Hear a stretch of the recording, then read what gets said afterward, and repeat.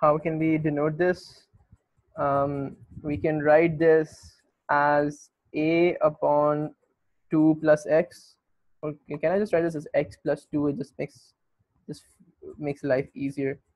x plus 2 uh, plus bx plus c upon x square plus 4. I don't know. I just find it weird writing 4 plus x squared. It just doesn't feel right. Anyhow, um, right? And now you take your, now, and this is obviously equals to x upon 6 minus x upon 2 plus x 4 plus x square. So the idea here is then you take your LCM, you get this bx plus c. Uh, this would be, whoops, this is an addition sign. This would be x plus 2. And then the denominator you have x plus 2 x square plus 4 but remember what do you but remember what you have here. You have um, x into 6 minus x in the numerator. You have 2 plus x and 4 plus x square in the denominator. So what you really can do now you can cut these both because they're equals to right uh, and just to make the life easier for us i'll just rub them because if you cut them both then they just uh, equate to one right which is not something that we need to worry about. So I'll just rub it off to make it make life easier for us. And you're basically left with this, and you now have to figure out the values of A, B, and C. Um, okay, so let's do that.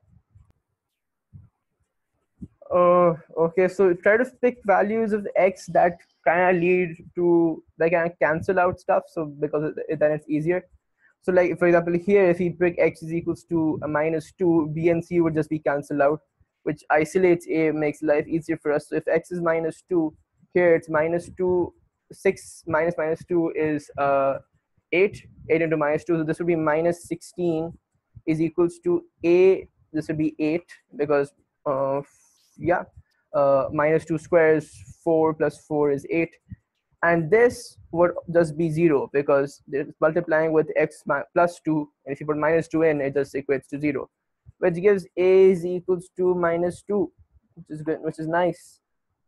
It's good right?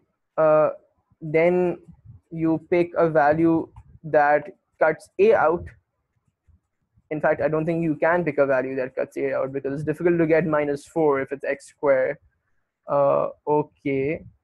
What you can do you can write you can write this in a you can simplify this a bit more i believe just to make life easier. So you can just take this and you can multiply it inside. So that will give you b x squared plus 2x plus c x plus 2 um, and now the if we take x is equals to 0 x is equals to 0, we can get rid of b, which helps us. x equals to 0 would give us 6 on our left-hand side. No, no, in fact, it would give us 0 on our left-hand side. Right, uh, it would give us a into 4 plus, since b is x squared uh, plus 2x, that would just be 0. It will give us c into 2 um, what is a into 4 a into 4 is minus uh, is minus 2 into 4 that's minus 8 which will give you 8 here. C to c is equals to 4 you get this. Now you can just put some mm, well some some value of x in it doesn't really matter which one it doesn't really matter which expression you use.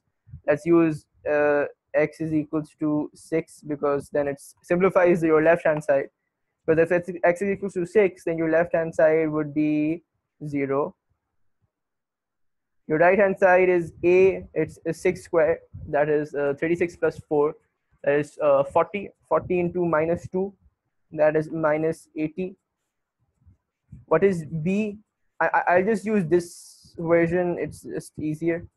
Or in fact, I, I could use it whichever one, whichever uh, level of simplification um, but I'll just use the first one. It's just easier that way. So it's that will lead plus b into 6, right? plus c, these should be these brackets, into uh, 6 plus 2 into 8. You got this. Um, it goes 80 here. I can take 8 and divide here, which gives me 6b um, plus c. What is c? c is 4. So this is 10. 10 minus 4 is 6. 6b, b is equals to 1. And you just take this. Uh, this is not your final answer though. You just have to pop this back into the equation. So your final answer would be minus 2 upon x plus 2. Sorry, let me write this in a different color. And oops, I kind of rubbed something else. But anyhow, this was b. Okay, so it would be minus 2 upon x plus 2 plus what was b? b was 1. So that is plus x. And what was c? c was 4 plus 4 upon x square plus 4. This is your final answer, not just figuring out the values of a, b, and c. Let's move on to the second part. Hence, obtain expansion of x of f of x in ascending powers of x up to and including x square. So this is some really boring stuff, basically. Um, what what was the expression? Let me just copy this. It was uh, this. Okay, so mm, minus two upon x squared.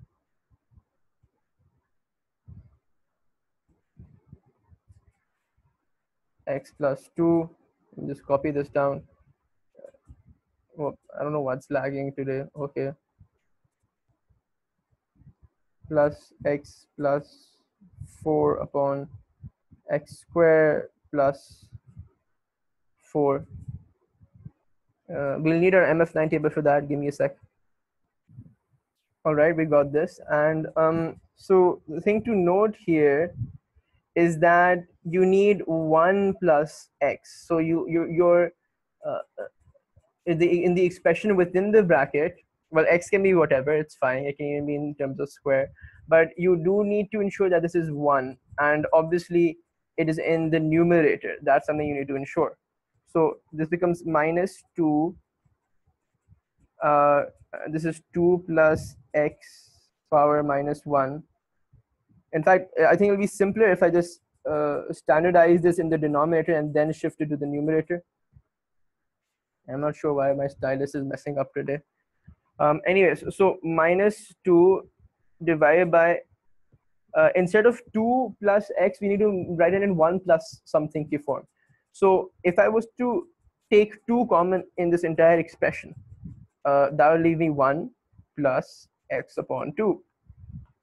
And this, this can cut and this can become 1 right? Which means that this can now then become minus 1, 1 plus x upon 2 power minus 1. So you have one particular expression that you need to expand.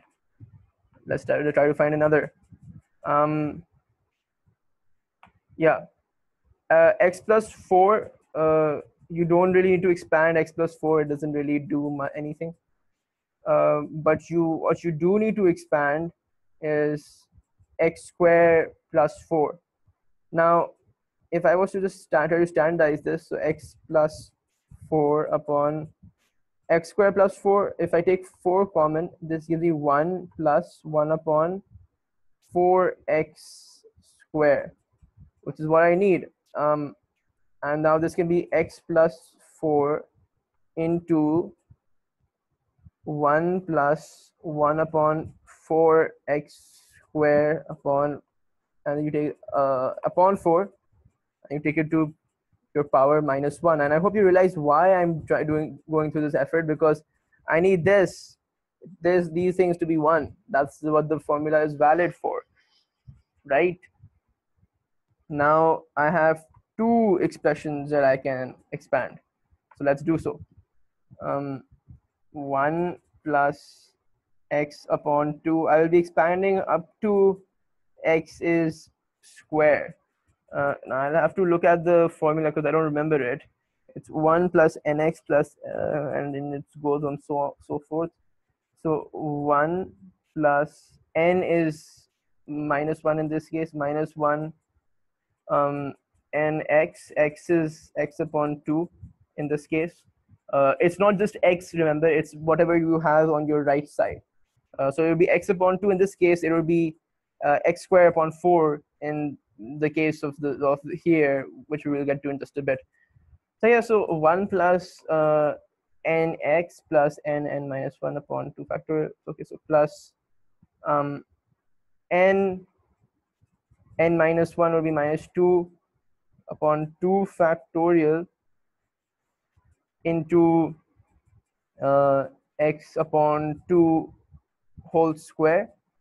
So that's your expansion for this. I, I'll do the simplification uh, when I, I'll skip through, through the simplification because that's just uh, plain algebra. But let's do the other one. 1 plus 1 upon 4, or let's just, let's just write it as x squared upon 4. Make our lives easier. Minus 1 we get 1 plus minus 1. Remember, x here is in fact x squared upon 4. And if you really think about this, which means you don't have to do the second second part of this. You don't have to go with plus n minus 1 into minus 2 2 because this bit where it was x squared really since now we have x squared upon 4 if we take the square of that, that'll give us x power of 4, which will be out of the out of the range that we want. We just want it up to x squared. So we can simply leave it just up to here. Uh, and let me just go and simplify the, uh, this stuff.